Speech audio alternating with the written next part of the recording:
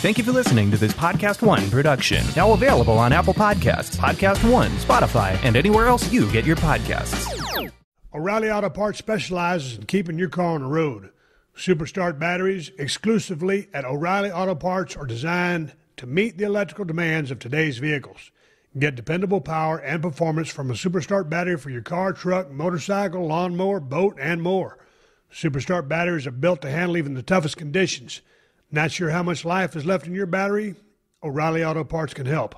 Their professional parts people will test your battery for free.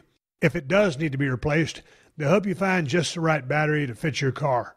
Visit O'Reilly Auto Parts today, and their professional parts people can test your battery or help you find the best Superstart battery for your vehicle. Stop by O'Reilly Auto Parts or visit O'ReillyAuto.com because I said so. Geico has the insurance industry leading app that lets you manage your policy anytime, anywhere, which means that Geico is always there for you. If only everyone was always there for you. Like animal control, when you're cornered in your garage by an angry possum. Hi, me again. Uh, you guys said you would be here about an hour ago, and um, I think the possum is starting to get angry.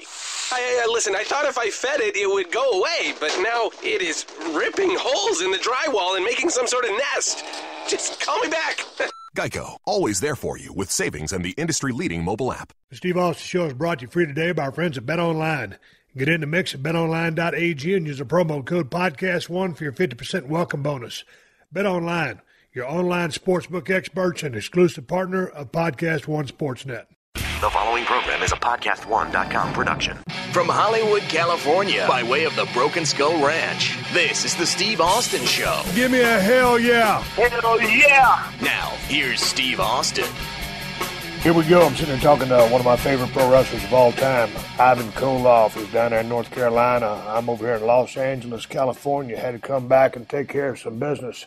Ivan, you're one of my all-time favorites. I used to love you guys raising hell and doing your thing and beating everybody up, especially back in the NWA days. It's good to talk to you. How are you doing these days? Great. Yeah. Yeah. Just a few uh, maybe uh, results of uh, 50 years of uh, being in the ring and uh, part of the wrestling business, but uh, uh, I, I feel fortunate uh, to be even here. You know, with uh, all the crazy stuff I ended up uh, doing uh, during my career, and uh, I guess for that reason alone, uh, matter of fact, considering uh, the years of wrestling and uh, the crazy bumps off the top rope and everything, landing uh, on tables and chairs. Uh, well, like a lot of the crazy stuff they're doing today, you know, uh, Steve, uh, like you really appreciate. You got to get hurt, you know, at times, and I know ankles, knees, back, shoulders over the years. But back in our time, we weren't able to take a lot of time off and heal up. You know, if uh, I was told one time that if I took time off, uh, I'd have to uh, figure on uh, to uh, figure on replacing me put something in that place. But uh, well, was, that was the thing about the business, though, Ivan. I mean, you could never take yourself off the road or take yourself out of a storyline because if you just told a promoter, "Hey, man, I'm kind of tired. Or I'm a little bit broke down," you're not going to make any money. And you know, these days on a guaranteed contract, you know, guys are you know they'll still get paid. But back in uh, my day, when I, when I was off for about a year with my neck fusion, you know, I didn't get any pay during that entire year. So you know the system because you're around from way back in the day. Uh, with that being said, you know, when you first started dropping that knee off the top rope, did you think, you know, I guess, well, none of us ever think, hey, this is going to catch up with me down the road? Because I, I would imagine uh, you're at about, what, 72 now? 72, yep dropping that knee all those years, it has to. It's gonna it's gonna take a toll on your body. Uh, how many surgeries have you had? What is your where are you at right now on a physical level? Well, as far as uh, surgeries, I haven't had many. Just like we were talking about, idea of being replaced if you, you know, had to take time off like that. So I didn't take the time off. I had one shoulder, the right shoulder surgery on it, because I ended up uh, hitting the post down in Florida about a year before that, uh, wrestling Dusty, Dusty Rhodes, and uh, hit it pretty hard. And uh, it turned, you know, black and blue type thing, and uh, let it go. It healed up something I thought all right. But uh, found out about a year later that spurs had developed in there, and they had to go in because I couldn't lift it.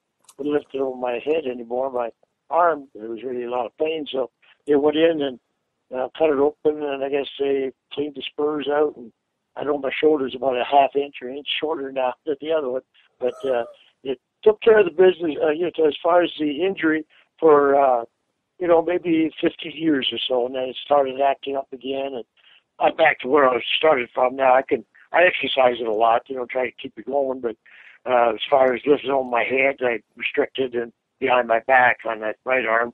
The left arm, my shoulder's been torn. The uh, rotary cup and uh, never got fixed. The bicep broke, tricep broke. Uh, so uh, that's both shoulders need work now. Well, you get some herniated disc in your back as well. Uh, yeah, my back has been uh, diagnosed with severe lumbar stenosis, which uh, doctor says you need plates and screws and all that stuff. And uh, but I've known some people went in and got that, some got staph and all that. So uh, I had other people tell me uh, wait as long as you can. Matter of fact, even Bruno told me that uh, you'll know when it's time to go in. He says whenever you uh, uh, go for a walk and your legs give out and you fall down. I guess that happened to him, and he had to go in and get the surgery to his back. So so far, I've not fallen down. So I figured I'll just keep going. I, I don't know how old you got to be to be old, but uh, figured that uh, wait as long as I can. But my left ankle's been broke uh, four times. I got big spurs on that from coming off the top rope and I think that's what it is. You break little bones landing wrong. I even came off the top and landed on the floor outside, and uh, I see these guys today doing that, and I say, "Oh man, don't do that," you know. Because, uh, but you were uh, doing it way back in the day. Hey, Ivan, you know, you started off your uh, career. You know, you're you're you're from Canada, and then you you ultimately achieved the the, uh, the Russian gimmick, the Ivan Koloff gimmick and it was yeah. uh, golly, it was one of the Rougeau, one of the Rougeaus that uh, came up with that idea. But you, my point is, you've wrestled as a single, you've wrestled as a tag team uh, for mm-hmm. so long, and you had a, a tremendous run. Uh, well, I thought in, in, WWF, you know, when you beat Bruno Sammartino for the World Heavyweight title, I want to cover that in a minute, and then lost that title to Pedro Morales. But then, you know, later on down the road, you found yourself down in the Crockett territories, and and that's where I remember you know, your career so vividly. And of course, then you teaming up with Nikita Koloff. And you were a very, very uh, good tag team wrestler, but you were equally as good as a singles. What did you prefer? You know, really, uh, it didn't seem like it mattered to me. I, I liked both. Uh, the re- and I ended up uh, in tag having a lot of partners from the time of uh, Minnesota. Yep. Teamed me up with the superstar Billy Graham. Florida was tag team with him, and New York uh, superstar Billy Graham, and I had the belts down here in the NWA with Ray Stevens and uh, Crusher and Nikita, different occasions, and Don Kernodle. Yeah, but how was and, uh, tagging uh, up? How was tagging up with, with superstar Billy Graham? Because you guys were two completely different workers. Billy was more mm-hmm. of a showman, and you were more of a wrestler you know, serious wrestler and, and, and superstar is one of my favorites of all time. So I don't mean that as a disrespect mm-hmm. to him, but how did you guys gel as a tag team? Uh, we got along real good. Uh, I guess I just uh, really respected and loved uh, Billy for, you know, we ended up working out together in the weights and he showed me a lot of stuff because he was bodybuilder and, uh, of course, I was just trying to get big and uh, the idea of uh, cutting up and all that. I never got involved in that or steroids, thank God, but. Uh, you know, he showed me a lot of stuff that really helped me as far as working out. And in the ring, even if it's to this day, he said, uh, Ivan was a workhorse. Uh, I ended up chokeholding doing my stuff, but uh, Ivan would come in and bump all over the place. And but uh, and that's what makes a team. Like a lot of times, it uh, it takes uh, either both guys do it or. And Billy's was ideal because he had that body and he could pose and and then play the chicken thing and run and yeah. Uh, but you were never, but you were never a chicken type heel. I mean, you, so, uh, hey, you brought up you brought up the steroids. Now, how early on back in the day did the steroids really become prevalent? You know, I was trying to figure that out one day, and I know it was far back because I got my back hurt the first time in '73 when I was in Minnesota. They landed on a board that was on a place in a match, a superstar and myself against Wahoo and uh, Billy Robinson, and ended up uh, really hurting bad, and uh, they ended up. Uh, I took about a, two months off, and it came back. And uh, but I was ambulatory traction, chiropractor, and all that stuff, and uh, it came back. But I uh, ended up really hurting it at that time, and uh, that that slowed me down quite a bit as far as uh, being able to perform. And I realized it. And then after that, I came into the Charlotte area, and I was fortunate enough to heal up enough, I guess, to. Uh, and Superstar had introduced me. He even said, "Ivan, for that back, if you take uh, some of the steroids, what it's meant to do is help heal. You know, because the guys come back from the war and all that. They, uh, they're anemic and all that. They they give them certain ones to, I guess, uh, get the body going again. Right. And I said, uh, well, I don't know, maybe I could try a little bit. But I just found my, uh, I had already been on prednisone for about 10 years because of a diagnosis uh, situation that I had in my body of, uh, they misdiagnosed me with uh, TB way back in 73. Wow. And it turned out it was sarcoidosis, which they don't even sure to this day what it was, but the prednisone, taking that five milligram a day for 10 years, it went away. And uh, consequently, uh, I ended up uh, telling Billy Graham that, and I said, uh, "Man, what I need to do is uh, maybe try it." I tried it, and uh, it was no good because this was before I even was on the prednisone, and uh, I found that I, all of a sudden I was hung, more hungry, and I was retaining fluid and all that. So I, I yes. can't take that. Yeah. And he even offered the shots, you know, but I uh, I did go that route. Thank God I did because probably have other issues there now, but. uh I think that was my first introduction. As far as other guys used, I know as far back as uh, the 70s, I was uh, in California for a while with Billy and uh, Dave Draper and Arnold, uh, uh, you know, Schwarzenegger. Uh, bet them, and you know, I can obviously do that they're taking some stuff, but I didn't right. know what because you, you don't look like that unless you end up taking something, I guess. But uh, I ended up uh, staying away from it, and I'm glad I did. But but did you uh, spend a lot of time in the gym, Ivan? Yeah, I did. I ended up uh, at first doing heavy weights and trying to bulk up. Once I bulked up, I stayed pretty well on that routine of uh, heavy lifting. I noticed in the early '80s, I see a lot of uh, guys seem like they're speeding up on TV and more right. action and all that.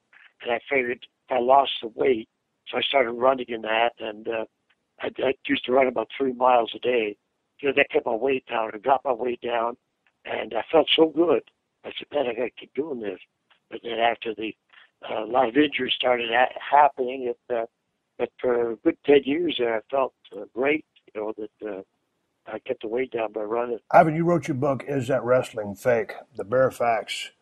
And uh, you know, you were basically in the business five, six years. It was your second stint with uh, WWF all of a sudden you find out you're going to beat Bruno Sammartino for the world heavyweight title in Madison Square Garden. Who, you know, told you, Ivan, this is what we're going to do, and you know, ran the angle by you? Uh, Vince did. I ended up first of all getting contacted. Uh, I was in Hawaii, coming back from Australia on a tour, and I had already wrestled Bruno and all that. And uh, they, uh, I got a call one day. I was at the gym there, and I got a call and uh, it was Pedro. And uh, I had really known Pedro well or anything like that. I knew about him, but uh, he said that, hey, Ivan, I, I, I got to meet with you. Uh, I'm on my way over here to uh, Hawaii, and uh, I want to uh, get with you. And he says, uh, Vince is sending me. Uh, he wanted me to talk to you. And uh, that was the first introduction. I didn't know what it was all about. He just wanted me to call Vince. Uh, he he said it would be something that was good, and uh, and you're talking about Vince McMahon Senior. Yeah. Yeah. Senior. And I got on the phone with him, and uh, that's what he told me. He said, "Like you come back." And, uh, the idea was come back for at least a year, like you know, type of thing. And, now they uh, picked you yeah. to take the title off Bruno, Ivan. Who else could they have chosen back then? Who, who other than yourself was hot or a viable heel that they could have possibly put that belt on other than you? Man, uh, for myself, uh, I was pitching myself because I kind of figured, man, what a, a lucky guy to get uh, picked for this, you know, to get the, the switch of the belt from Bruno, because Bruno was my, my hero type thing. And uh, to this day, it was still uh, keep in touch with me. I really respected him over the years. And, uh, and I really uh, thought it, I was surprised, really surprised. And uh, as far as who were the other hot heels, though? Man, I, I right now I think, but uh, I know there was a lot of guys out there that even later on they ended up uh, switching with uh, Stan Stasiak, right?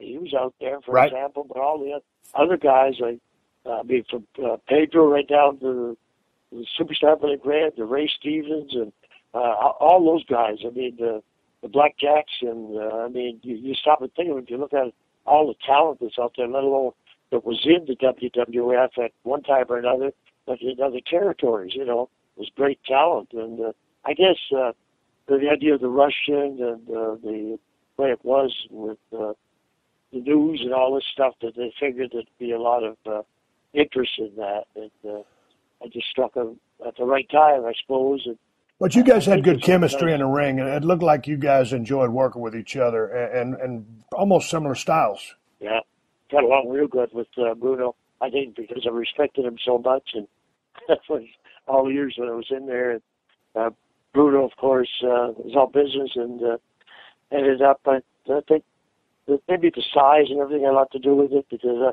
I remember that night I, I weighed in. I was 305. And, Bruno was like uh, 280, uh, 280 or something.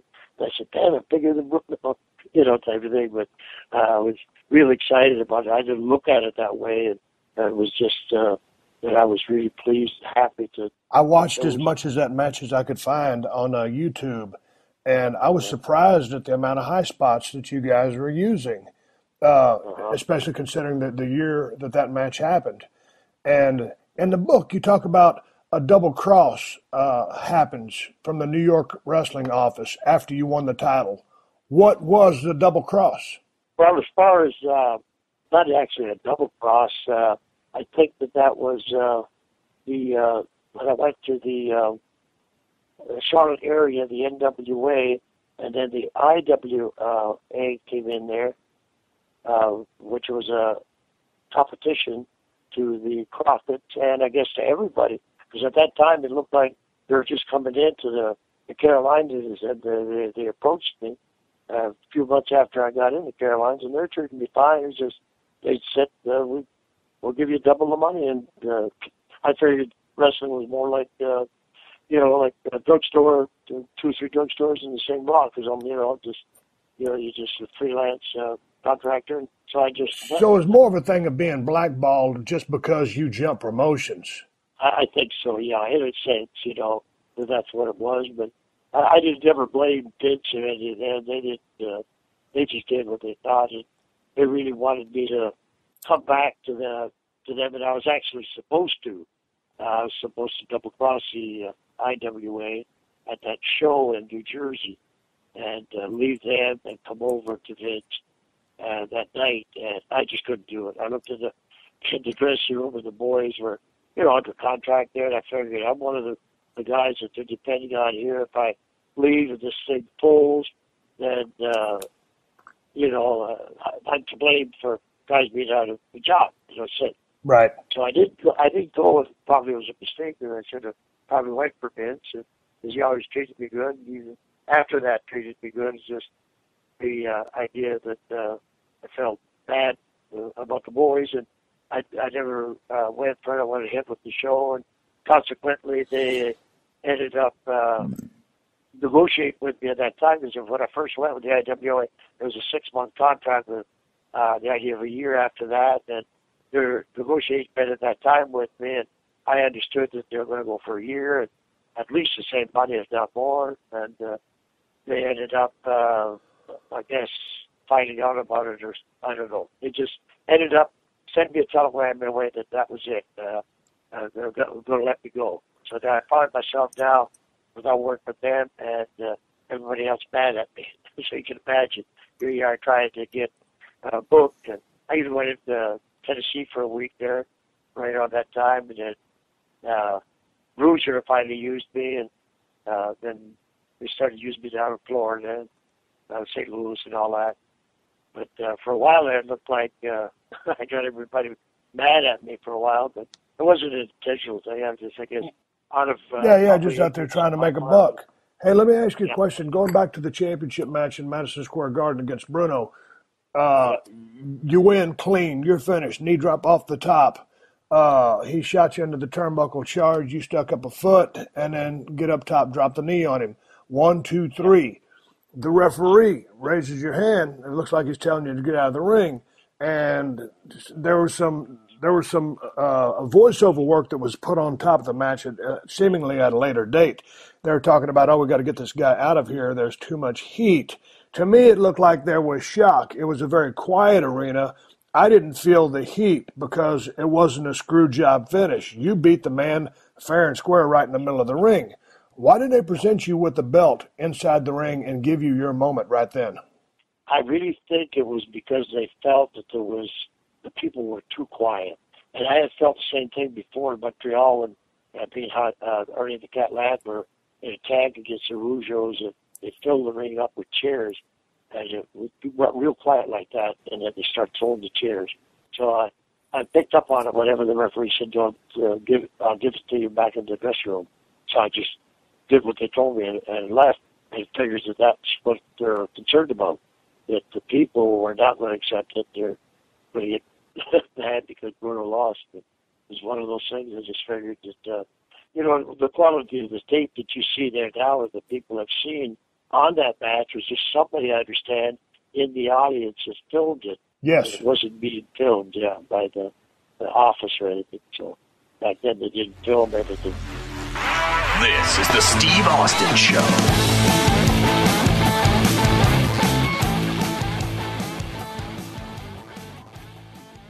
If you're a business owner, you don't need us to tell you that running a business is tough, but you might be making it harder on yourself than necessary. Don't let QuickBooks and spreadsheets slow you down anymore. It's time to upgrade to NetSuite. Stop paying for multiple systems that don't give you the information you need when you need it. Ditch the spreadsheets and all the old software you've outgrown. Now is the time to upgrade to NetSuite by Oracle, the world's number one cloud business system. NetSuite gives you visibility and control over your financials, HR, inventory, e commerce, and more. Everything you need, all in one place, instantaneously. Whether you're doing a million or hundreds of millions in revenue, save time and money with NetSuite. Join the over 22,000 companies using NetSuite right now. Let NetSuite show you how they'll benefit your business with a free product tour at netsuite.com slash Steve. Schedule your free product tour right now at netsuite.com slash Steve. netsuite.com/steve. Hey, what was the difference between working with a guy like Vince McMahon Sr and uh, the, the, the, the guys that were running Crockett Promotions. What was the difference between those two promotions, just as far as the way they operated?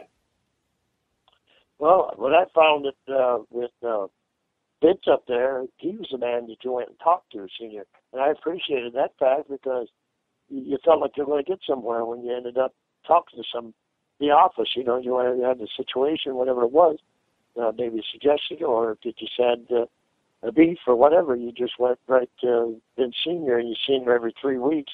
Whenever we did the TV taping uh, in Allentown or Reading or whatever, Hamburg or whatever it was at, and uh, they ended up uh, be able to pull Vince aside and talk to him. You know, just tell him and uh, how you found it, what uh, wrong, or whatever you want to suggest, or whatever like that. And to me, that made it a lot easier for me than uh, a place like uh, the NWA with the different territories, and you came in.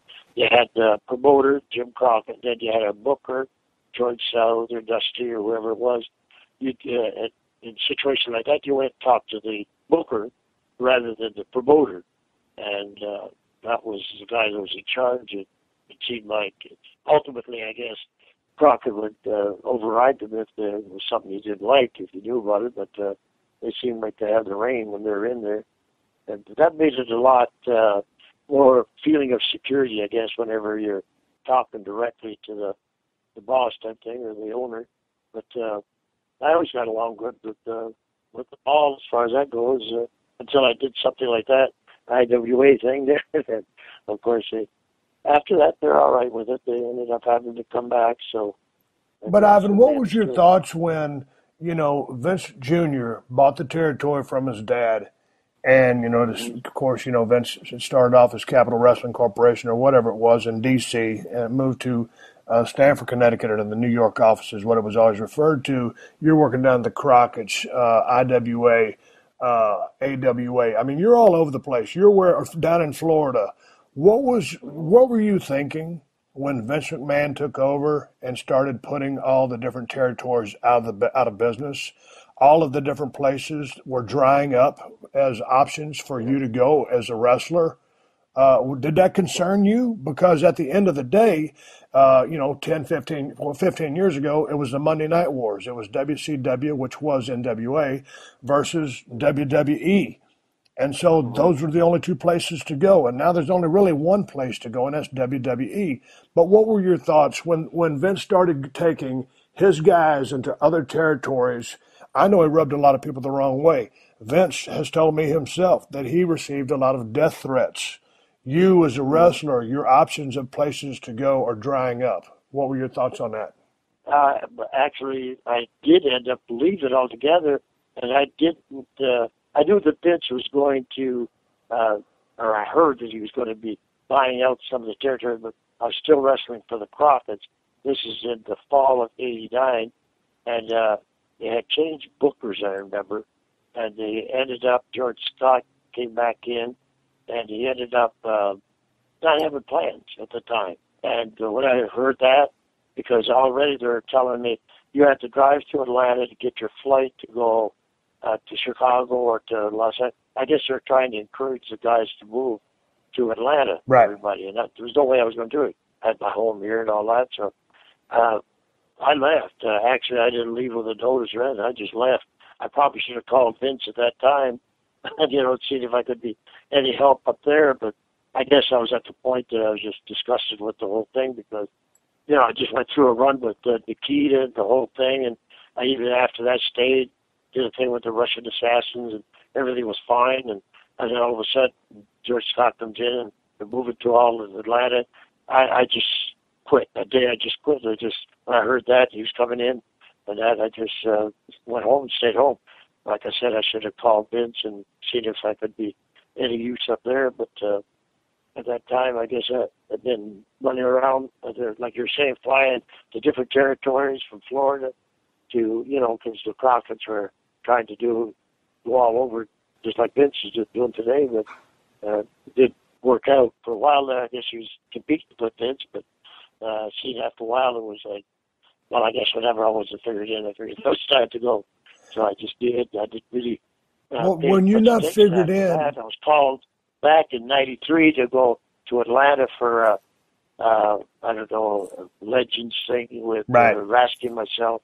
But uh, that was the only thing that was ever called for, and uh, never bothered calling Vince, and I should probably have done that at that time. But when you're not figured in and you got to go elsewhere, um, man, you've been married for what, 30 or 40 years? Yeah. Yeah, so. So, right now 33 years. Okay, 33 years. Now, what was your wife's take on the business? Because, you know, I mean, you're always gone, you're always on the road. It's the life of a pro wrestler and especially back in those days with, with so much more driving than flying. Uh, and, and, you know, she was always there. I mean, but so she just accepted it. Hey, this is the way things work. And if we got to go, we got to go. And, or, or would you leave and just go places uh, by yourself and then come home when you could? Yeah, that was about the way it was. Ended up just going like uh, for Florida, go down there, just stay there till uh, the next move, where I was back to Georgia, New York or a trip to Japan or something. It really made it hard as far as any type of family life or anything like that. Because I can remember going years, you might as well say, without even being able to come home. Like you go right through Christmases and that because they'd have shows and everything, and, or you're on a trip to Japan or something. It had to be real hard on the situation at home, but uh, there's not too many guys, Ivan, in the business that have marriages that lasted 33 years. Congratulations on that. really? Yeah, that's true. Really? Yeah, that's only because hey, up with it, I guess. Hey, you had some uh, you had some interesting days on the road. I want to get to uh, uh, your life, uh, uh, your your things now that you're doing. Uh, now that you've accepted Jesus Christ as your Lord and Savior, you're an ordained minister. But I wanted to talk about some of the wilder times with uh, your time in the ring and on the road with Mad Dog Buzz Sawyer. I was a big fan of the Mad Dog. Uh, I was a kid growing up, and that guy would came yeah. out come out there on TV, and you think, oh man, this guy really is crazy. He is the mad dog. But yeah. out of the ring and away from the ring, he, he was indeed a wild man. And uh, you ended up uh, kind of uh, I don't know where you started where you started off with beer and graduated to other things, but uh, I would imagine that when you were growing up on a farm in Canada, you'd never been exposed to a lot of alcohol and drugs. All of a sudden, you're in the wrestling business. You're right in the middle of it. You're a big star. You're in demand, and you're traveling, and you've got all the stress and all the downtime and the atmosphere. Uh, what what was your foray into the drug scene? Because you got off into a pretty bad way. Sure did. Yeah, I ended up uh, with the injuries, of course, uh, being put on uh, painkillers, uh, stuff to relax, uh, sleeping pills, and all this stuff. And uh, I think that that was in the early 70s whenever I got hurt real bad the back. And uh, by the time the late 70s come, uh, I graduated, of course, at home. When I was a kid, just to back up there, it was, uh, you know, you worked hard. It was on the farm and you yeah. milked cows and by hand you got the crop in and you did the whole thing. And, you you know, once in a while they'd have a little party and if you were uh, even a teenager or uh, even younger than that, you were expected to work like a man. So you'd have a get together, and you were allowed to have a couple beers or a few beers, and at home and uh, the party they always had a fiddle player in or something, and the music going wild. But that only happened like once a year or something, usually during the harvest time, after the harvest time. But uh, so I, I I knew that that wasn't something that uh, should be doing all the time. And as a, a wrestler, I ended up uh, right from the very start, like even uh, the wrestling school and all this stuff. I ended up uh, getting involved in it. And, uh, matter of fact, as a, a teenager, getting into trouble with the law and all of this because I tried to create my own business. I thought I was uh, back in the old west, I guess. I ended up doing some stuff illegal that was uh, uh, cattle rustling, they called it, and uh, because I was but, uh, instead of having a truck or doing it the old old way with uh, uh, horseback and uh, rope. I, we'd end up roping them all right, my younger brother and I, but we'd pull them to the car, or twist their tail, get them in the car. we'd end up taking a half a dozen of those uh, cattle to the, the sale and selling them until we got caught about six months later. And as a kid, uh, 17, just going on 18 years old, get caught with that, it was treated as, uh, you know, a felony and uh, ended up going to prison for a while for that. How much prison time did you do? Uh, it was actually a six month sentence, but I did uh, uh, just about five months with good behavior and all that stuff. This is the Steve Austin Show. The wait is finally over. Football is in full swing. The NBA Finals are here, and the MLB playoffs are heating up. You might not be at a game this year, but you can still be in on the action at Bet Online. BetOnline is going the extra mile to make sure you can get in on everything imaginable this season, from game spreads and totals to team, player, and coaching props. BetOnline gives you more options to wager than any place online. You can get in on season opening bonuses today and start off wagering on win, division, and championship futures today. Head to BetOnline today and take advantage of all the great sign-up bonuses. BetOnline, your online sportsbook experts. Okay, now you're a kid growing up on a farm. All of a sudden, you're in prison. Was that your uh, was that a wake up call for you as far as a life of crime? And not not oh, considering yeah. the drugs you're about to get into, but as as a as a hey man, this is not for me. Jail is not for yeah. me. No, that's right. Yeah, it definitely was. I, I really was scared there, to say the very very least. Because you got two thousand inmates and they go in gangs and everything, and they're going around uh, stealing stuff, taking stuff off you by force and all that. Uh, my younger, my brother with me, and uh, we had to stand up for each other for a couple of times. I tell a couple of stories in my book and that, but uh, that it was uh, definitely scary. So after that, uh, every time I got I'd start drinking too much or get into any type of trouble, looked like it was trouble, I'd uh, it cooled me off pretty quick because of the, you know, what had happened before. But uh, I ended up, uh, you know, we're, we're kind of wild kids, like a lot of kids are whenever they get in teenager. Yes. Uh, like we'd uh, go down to the, have a few beers, my older brothers and I would get together. And uh, I can recall one time coming out of a bar and I was going to the wrestling school, and uh, my older brother Roger with me, and he was good with his fists, him, and he uh, ended up this tall guy, about seven foot tall, was giving us a hard time outside the club. And I'd never seen anything like that in my life. My brother did a combination boxing move on him and hit that big guy with an uppercut, and he went bent right back with The guy knocked him out cold. And it was situations like that happened three or four times that got me into the wild, crazy stuff, you know, fighting bars and all that. But I never was a fighter and like that. I ended up, uh, you know, getting in situations like that to, to know enough anyway that I shouldn't be doing that. But whenever I was out wrestling later on and I graduated from drinking the beer to whiskey and I get into the pain pillow and then get into the marijuana and the other stuff like uh, uh, uppers and downers, cocaine, and then uh, man, it just got so bad that after a while, I, I was even uh, wrestling under the situations like that. But I guess I was uh, dedicated enough going to the gym that I sweated a lot of it out. So I was able to still. But Ivan, I heard you had like a sixteen hundred dollar a week cocaine habit. Man, that's a lot of money for today. Yesterday, sixteen hundred dollars a week. Uh, where were you finding this stuff? I mean, well, I mean, it's, it's, it's it's everywhere we go. I mean, because there's always that element around the business. Uh, to me, were you a light switch? Did you need something to take you uh, to make you go to sleep, and then something to get you up? Because it sounds like you were in a pretty bad place. Yeah, it it was like that, but uh, not realizing it at the time. It was, uh, you know, felt better like that. So you just go back to doing that. You know, right. Pain, the, the uppers and downers of that.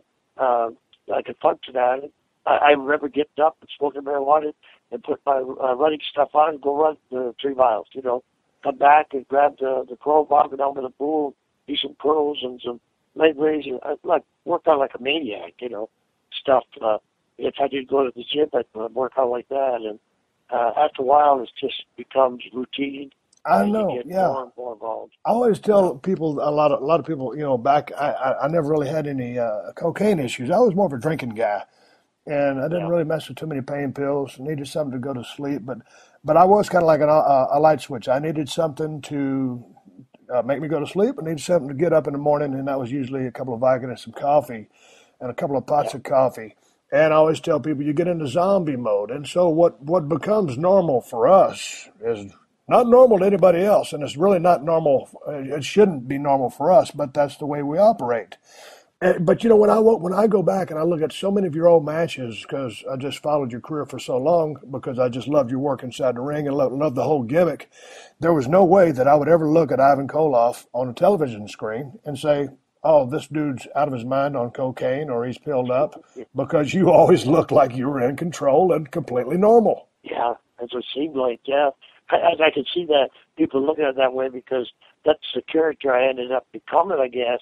You know, and uh, it became like a real thing rather than just uh, a persona or uh, gimmick type of thing. It was like uh, talking about Buzz Sawyer. We came in, uh, we go one weekend Atlanta, one week in Ohio. So we fly to Ohio, rent a car, uh, do the, uh, the show there, wherever it is, Cincinnati, uh, drive to Cleveland, uh, do the show. I have to get back uh, to uh, Cincinnati or whatever to catch the flight back to Atlanta for Saturday morning TV. And uh, you have to drive like uh, 200 some miles back from Cleveland to sit there, whatever, whatever it was. And we got in real late, different situations. Matter of fact, one situation, one time was the police with the helicopter came and pulled us over on the highway. Uh, a girl that uh, Buzz had picked up in the, on the highway, or down in the highway on the mattress, and was she was in the car with us. She had called her sister, and her sister called the cops and said, "We won't let her out of the car." And that wasn't the case at all. let her out of the car. when they came down and landed on the highway and stopped us, and they searched us all and all this stuff. And of course, they found stuff in her. Uh, they let us go because they realized that the girl she fessed up and said, "No, no, my sister's crazy." She ended up calling it in. So they they didn't let us go in that, but that was the situations situations of uh, one time that happened. Another time we ended up showing up late uh, for the TV, and uh, Ole wanting to uh, uh, find us. She was a the booker there Yeah. in Atlanta at the time for Jim Barnett, and he was going to fine us, and I remember he fined Bud, uh, Buzz, uh, five hundred dollars for being late uh, for TV, and then he was going to uh, uh, fine me, and I was next, and I, I just had it. I just no. You, I took my sweater off. I had a big hockey sweater on. I says, "No, you're gonna have to fight me for it, Ole." And I, I knew Ole was a tough guy too, so I said, and uh, and I'm going to take my money with me. You're not going to take my money because you're stealing it right out of my pocket. and my family needs it. That's what I told him. Yeah. He just stared at me for about 30 seconds. And he said, "Put your coat back on, Ivan." He said, "Sorry, I'll I'll hook it up. I'll fix it up." He did. When I left the dinner drawer, I guess he had taken a couple hundred dollars off me without me knowing it. But he put put it back on my check when I left because he knew I worked real hard. But uh, it, yeah, things got so bad, uh, you know, Steve, that I ended up like uh, going to the Middle East after wrestling Backlund, and even when I was wrestling Backlund, my knee was locking up in the ring. That's why when I came back from uh, uh, the Middle East, we went over there, a bunch of us, Iron Sheik and uh, Larry Hennig's son, Hennig, and a bunch of guys on the plane, Fuji, and I ended up uh, drinking my vodka on the plane, going crazy, and uh, fight with the Iron Sheik on the plane. And he bit me on the on the neck, you know. Now this is a shoot fight on a commercial airliner. Yeah, So what are the flight attendants doing? panicking. panicking. When we landed in Jordan before Kuwait, uh, the militia came on with machine guns on the plane. Oh, And no. Fuji had me tied in the seat by this time. And every time I'd uh, come to and uh, went to go after the sheik again, he'd pull the seat belt tighter. And I had about a 30 inch waist there for one trip anyway. for uh, But he was doing it for my, you know, my own sake, keeping me. Now, how salty was the Iron Sheik? I seen him and Buzz go at it one day in the motel room. Matter of fact, I refereed the match. I always get caught doing being the referee in street fights and all that, but he ended up. Uh, they wanted to see who was better, and we were in the motel room, and they ended up with pushing furniture back, and they went for about twenty minutes, thirty minutes Who did? wrestling, amateur, you know, see who could pin who. And I was the referee. I was Who was Yeah, going back well- and forth? uh, both of them were going back and forth. One to get one for a while, I'd go over to try to get him, and Dad was like, uh, they're having a real. They, they- should have had tickets for that. I mean, I should have had to pay a ticket for that because, I mean, they wrecked the place. TV was knocked over, and that was just one of the situations with Buzz. Another situation with Buzz was we stopped at the store after a match uh, up in Ohio, and uh, we ended up going in for some beer. That I was ahead of him. Had some pretzels and whatever, and ended up going out of the uh, store carrying a bag, and uh, Buzz was behind me. This guy's up had been to the matches and was out in the, in the parking lot, and they ended up uh, saying to me as I came out the door, "Street fight. You guys don't have a street fight. I can show you how to street fight." And I said, "Oh, is that right?" So I went to put the bag down, but I was watching the guy real close that he didn't kick me or something while I was putting the bag down. I was going to see how he could street fight. You know, I was crazy myself. So ended up uh, as I put the bag down when I turned to face the guy, Buzz came out like a bulldozer, knocked the guy out to the, the parking lot, and picked that guy up. No kid, he was like a rag doll. That guy. Buzz was picking him up, slamming him, suplexing him, and uh, the cop came around, uh, jumped out of the car, and had the gun on Buzz, and uh, Buzz had had him up in I don't know bear hug or something, squeezed uh, squeezed him anyway. The guy was screaming, and uh, the cop said, "Drop that man," and uh, Buzz dropped him, and he, he said, "Get your heads up," and all this stuff, and it was just like something you'd see on TV or something, you know, but it was for real. This guy was panicking to get out of there because Buzz, Buzz was killing him. So Buzz could fight. He was a scrapper for sure. And, uh, so these But all the boys are kind. It, it was kind of like the Wild Wild West back then, right? It was. Oh yeah. I mean, you literally had to fight for your spot on the card. Yeah, that's right. Yeah, talk about a street fight. Yeah, I see Brian and uh, Matt uh, Borne go it one day. And I was the referee in that, in the bar.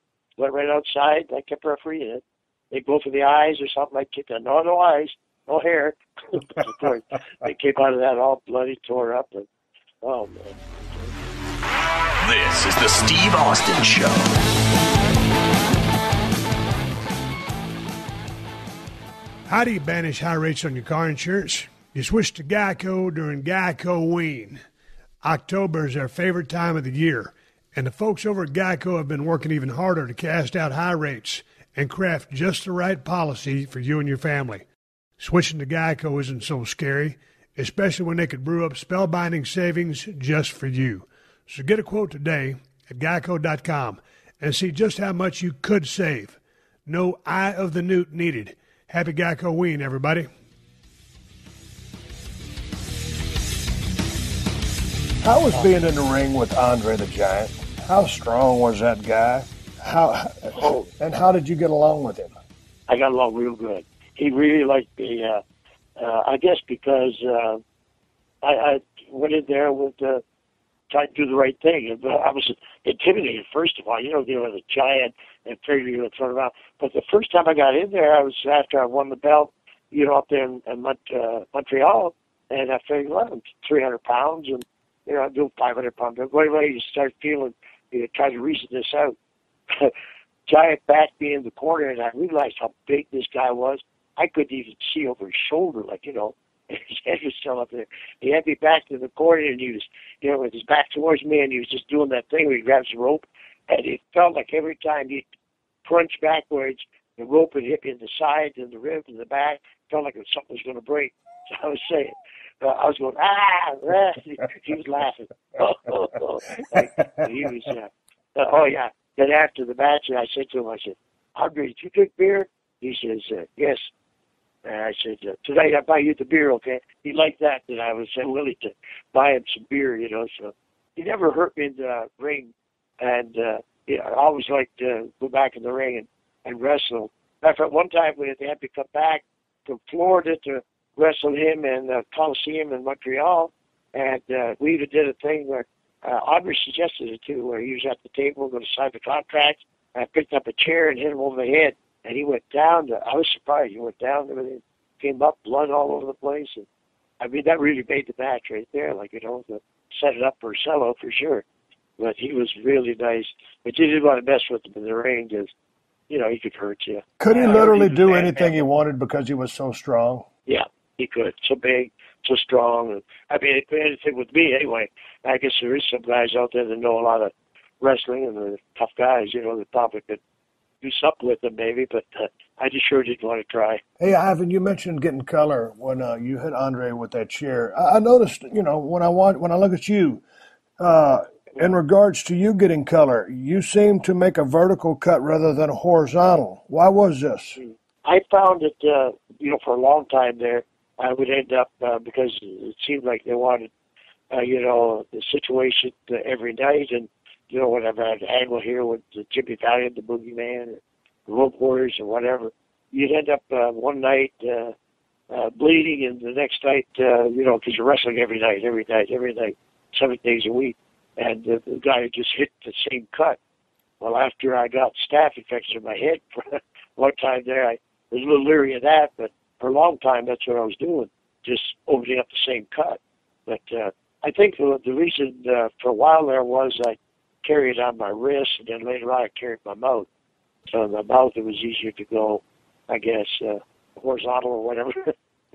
for a long time, there, that's what I was trying to do. I was uh, uh, figuring that uh, would make the matches look better. I remember one match with Bruno, the cage.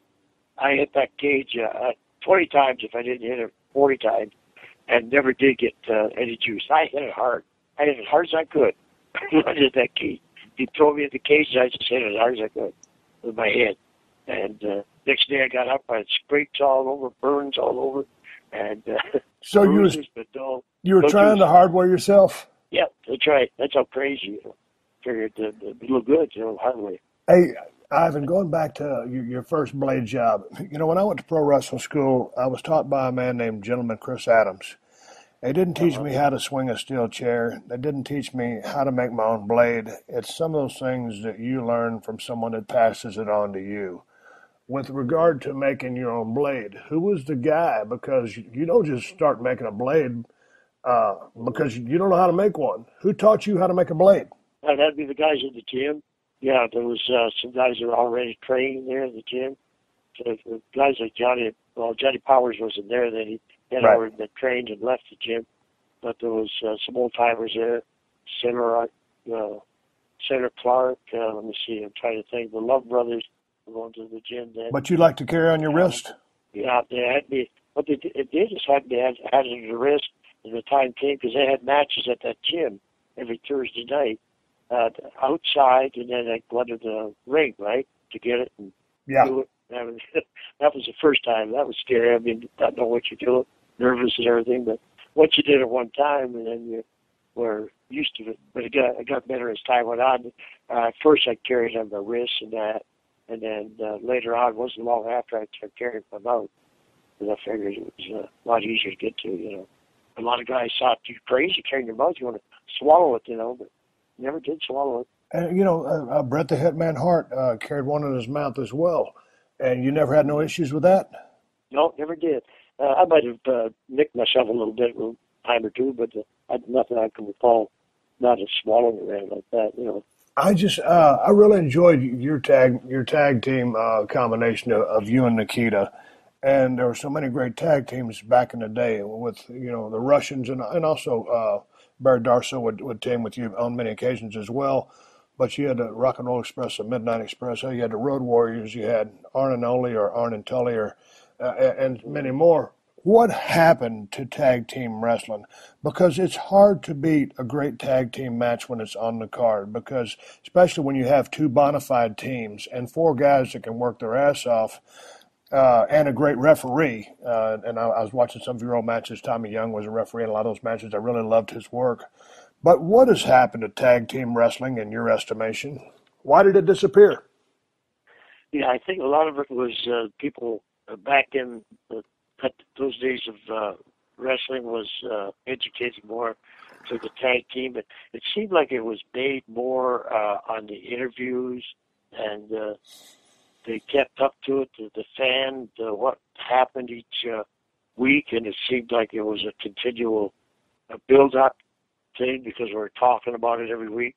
And it seemed like every town you'd have a little bit different uh, thing going on, to, so that some of the fans, as they traveled, they weren't up to it. It was still related to the same guy, you know, the, the feud, but uh, maybe a different type of match. And it seemed like I don't know, it really. Uh, gotten away from that, or maybe more time was spent at it to get that uh, real heat going. I guess. Or, uh, you know, nowadays it's hard to get that heat because of you know wrestling being out in the open more with the fan, and I guess the fans realize that well, these guys are just in there playing around, you know. Right. But they're not really playing around. That's what I tried to tell them. Can you imagine going around playing around and getting dislocated shoulders, and, you know, a busted neck and Yeah, I think it's more of a pre- how it's presented these days versus what it was in the old days. I mean, you know, the, back in the old days, I mean, you know, wrestling was still quote unquote real. All of the exposés hadn't happened, and you know, I, I understand that to today's uh, everything changes, but it's all in how it's presented. I wanted to talk before before we hit the go home on this. Talk about your association with Nikita Koloff because whose idea was it to put you two guys together? Because it would later on down the road, many years, be Nikita Koloff make an introduction to you uh, with someone who would basically turn your life around. So, whose idea was it to put you and Nikita together as a tag team in the ring? the first time I heard anything about it was uh, Jim Crockett came up to me and he said, uh, uh, "I've excelled not only in uh, uh, singles before, but in uh, tag team also. Uh, how about if you got a partner, maybe like a nephew or something like that, so it'd be close to you that uh, then you create like a team together." And uh, I said, "Yeah, I'm all for it. Uh, who, who do you got in mind?" I had nobody in mind, so went picking our brains, you know. Of course, I didn't have no relative. I had a son, but he did take up wrestling, so uh, I said, who could it be? And uh, Animal got into it, uh, the Road Warriors, and he came up with Nikita because he grew up with him in Minnesota. And Nikita was a football player, collegiate, and uh, I think with uh, Omaha, if I'm not mistaken, and South, uh, South, South Dakota. Anyway, he was a pretty good football player, I guess, and worked out at the gym with uh, Animal and Hawk for a while there. coming up, and I guess Crusher was even part of that group up there too. Crusher Christian, Yep. Barry Darsow, and they ended up anyway picking Nikita. And when I seen him for the first time, they brought him down right away and got started with it. I said, man, this guy should be ideal. He's college graduate. Uh, he's on the ball as far as education. You know, he looks great. You know, close to 300 pounder, obviously working out like a bodybuilder, and uh, put him on the right road. You should be able to develop some. And I pretty well thought of it the same way as what happened to me. Like, you know, let the, somebody else do the talking, stand there intimidating looking, and uh, just be very convincing in the ring. And that's what I was told uh, is starting off. And but Nikita did it perfect. And with him, of course, he never went to a wrestling school, so he, uh, even though he's an athlete, we had to teach him things each day from Don Kernodle helping him, myself, uh, uh, you know, I guess a lot of the guys put their information in. But I try to sit down with them each day and and uh, go over uh, one thing at least in the dressing room: standard wrist lock, uh, backdrop, uh, you know, slam or whatever it is. It's the way you do it. All that. Pick up real quick. I said, now, whenever you're in public, uh, don't be talking to people. Go with the accent and all the way and lay him in. Don't be afraid to lay it in when you're in the ring. Like, Right. got to make it look good in the ring because they're going to only believe what they see, you know. And if and if you're not uh, experienced at it, you're going to probably be going to be able to see it unless you're real solid. He was solid, all right. He had more people, more of the boys complained. Even myself, as he came, I tag him. He'd come into the to great out of the ring and me to come in, and that elbow of his would catch me. Oh, it's, oh man! And then he'd slap my hand like for a tag, and I'd be like selling my hand. But I do it, uh, uh, you know, not only for the people, but I was doing it for the idea that he slapped it hard. I even said to him in the dressing room, I said, Nicky, I'm your partner now. You're not supposed to kill me. You're supposed to kill the opponent. Yeah. Well, of course, I was kidding with him, you know, but Yeah. he gets it across to him that he was being solid, and that's what we wanted. And he knocked, he hit the guy sometime with that sickle clothesline, and the guy do a, a whole backflip, like a, I guess a one and a half. Yeah. And uh, when I see one of the monkeys do that, I said, "Oh, my. you must have heard it." But the monkeys, I guess, just went with it. I guess the, the, the force of it knocked him over. But yeah, Nicky was real good like that, catching on to stuff and keeping the accent when he was out there, and it paid off because uh, they really believed in you could do it. Because we had that big memorial show at Memorial Park there in Charlotte, and over thirty thousand people. Flair flew in on the helicopter that night. Man, I could tell by the the crowd that they wanted to see something there. It was Flair against Nikita, and uh, I think we were against uh, Road Warriors, and the Crusher, and uh, and that was uh, good. Of course, four horsemen around there too, Dusty and all them. So they had a good card for sure, but they they really uh, could tell the people were riot. Whenever somebody runs in the ring, tries to get Nikita before the match even starts, you know that they're really hot at it. You just named a lot of big names there. was, uh, Did in you- my life, uh, you know, and I think it was God ordained. He, well, let's put the keys in there, knowing that I, I need to have some help, somebody with some credibility with me to, to reach me. Because after I quit in '89, the the kids knew from '83 to '89, like you know, six, five, six years being together, that uh, you know, I had a little trouble with the drugs and the alcohol. And matter of fact, I quit with the idea of really settling down, trying to get off of this stuff and clean up my situation here and maybe wrestle better, uh, you know, heal up a bit. But I ended up uh, throwing the stuff away going back to throwing away, going back to. Uh, even had wrestling school for a while there for four or five years. And, uh, after that, I just get to the point that uh, I just keep going back to it. So I, I, of course, I couldn't afford cocaine anymore, so I was able to get out of that. But uh, ended up, uh, Nikita called me one day and he said to me on the phone, "You got my attention." He, was, he said uh, he wanted to invite me to come to the church that he had become a born again Christian, and he said, uh, "You, you, I know what you need in your life, Uncle. You need uh, Jesus in your life." And I said, "What are you talking about, Nicky? I was raised in the Catholic Church. I went to church every week, and I know who Jesus is." He said, "It's not that." He said, "The devil knows who Jesus is too, but that doesn't make him a Christian." So he got my attention. I said, so I ended up going to that church, but mind looking for that help. You know, that I needed to get off the drugs. And uh, I got it all right because uh, this little Catholic boy found himself uh, on his butt when I, when the service was over because the Lord touched me in such a way. I ended up being overtaken by the Spirit, is, is the way I understand it. And I mean, I went down the fastest I've ever done in my life. I thought maybe it was uh, somebody like uh, Andre the Giant uh, clotheslined me, but uh, it was so gentle. Uh, when I landed, I just hurt myself or nothing, and I was like down, and I felt real good. And I went to jump up because wrestling were taught. I guess I have it. And Nikita grabbed me and he says, "Relax, it's the Holy Spirit." And man, I, I realized it had to be God because I no way I went down in front of all those people, you know, like that. Because I even said that to myself, seeing people before go down, and said it must be that they're paid to do that or something. They're, what they're saying is by me receiving Christ, uh, my old debt was paid. Uh, all that crazy stuff I did, uh, was forgiven of it, and uh, anything I do in the future, he, if I keep him as my uh, tag team partner, more or less to say, that uh, I'd be able to overcome anything, and he'd never leave me or forsake me. It wasn't an immediate cure for your addiction, though. So, how did you no. how did you stay with the process to? Uh, I would imagine you're 100% clean right now, correct? Yes, sir. Yep. But sure so, how long did it take uh, you? Because the the cocaine, you got rid of that. Then you started leaning mm-hmm. on the marijuana. You started going to the chewing tobacco. That's not illegal, but you, you needed you needed a crutch. And yep. so, what was the weaning off process for you? Did you do it yourself? Did you go to a drug rehab place? No, re- uh, uh, no drug rehab.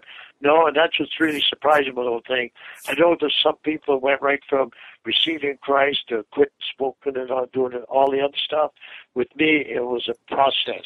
I was told it was important to get into the Word, that by taking into the Word of God, the Bible, and reading it, I end up taking in the Word and it pushes out all the other junk. And what happens is, over a period of time, your faith grows to the period that God blesses you enough to be able to quit this stuff.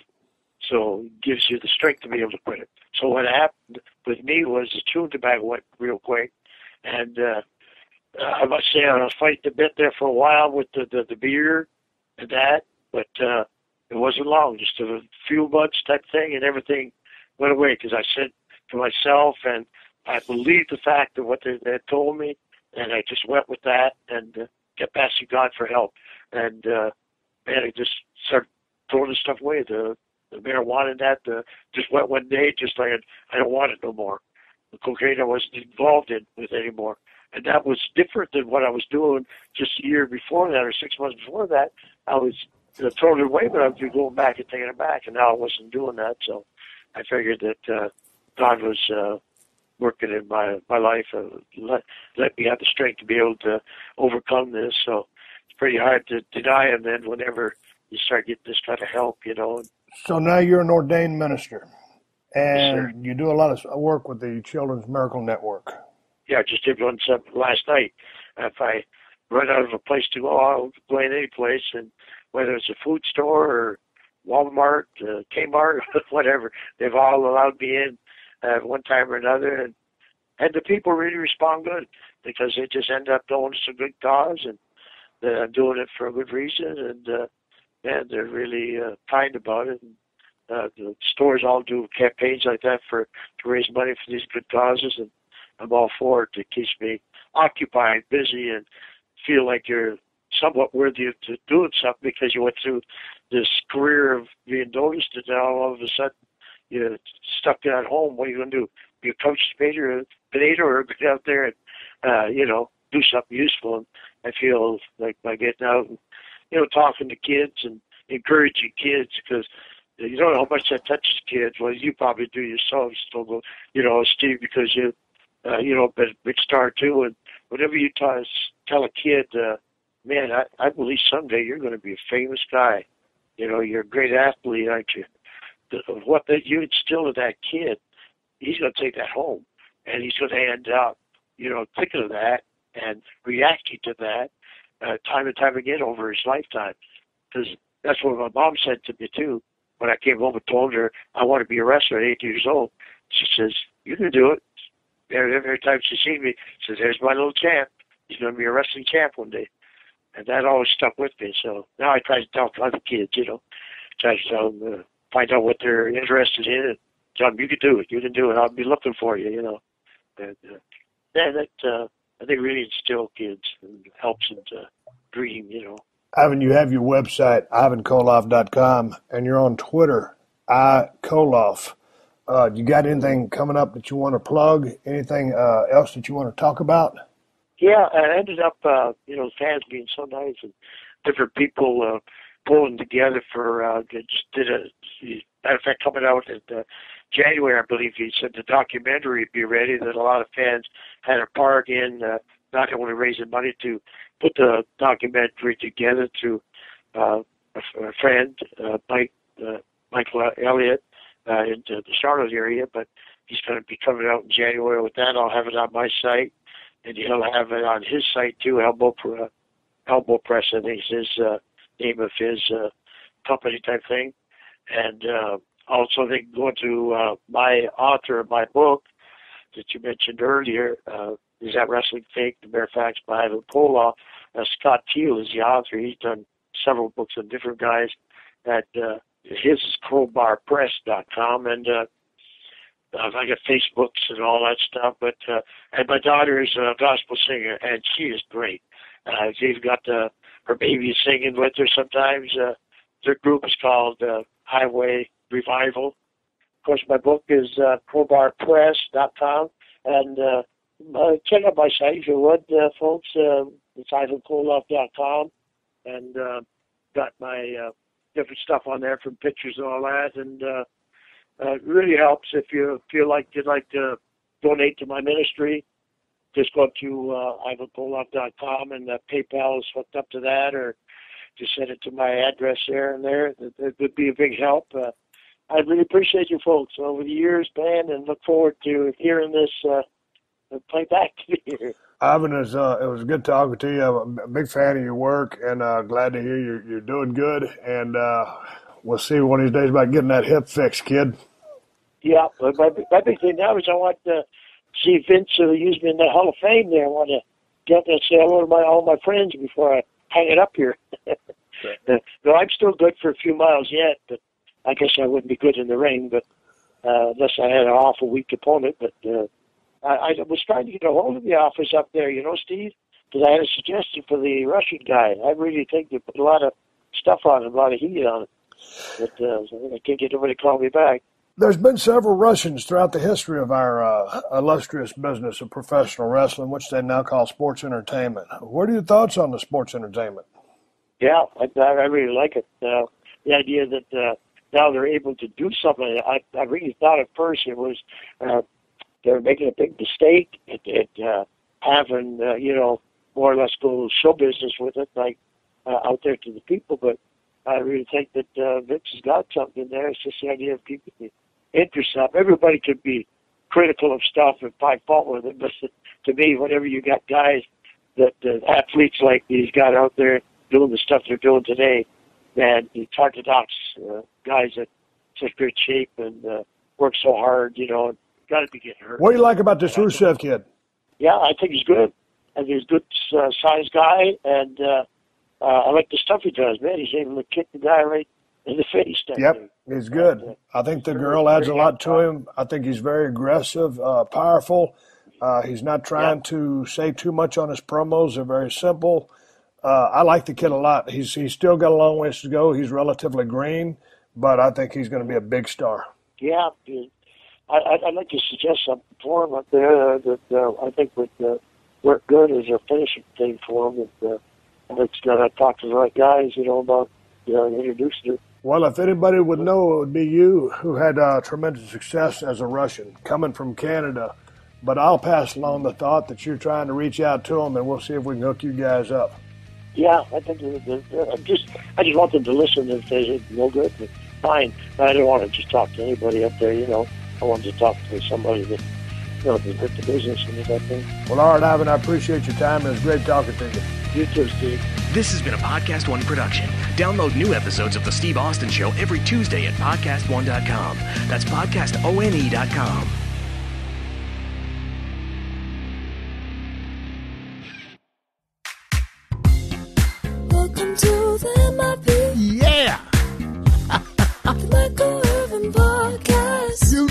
was coming. Guess who?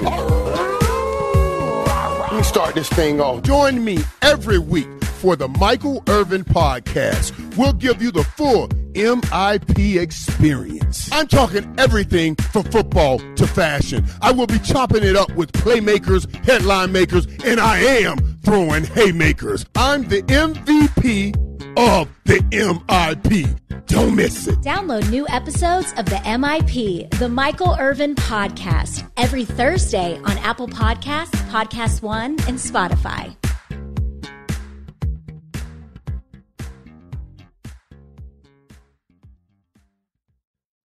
Why is the new Sleep Number 360 smart bed your answer to better health and wellness? It's proven quality sleep. Any more questions? Yes, I'm always freezing, and he overheats. It's temperature balancing, so you can sleep better together. But can it help keep us asleep? It senses your movements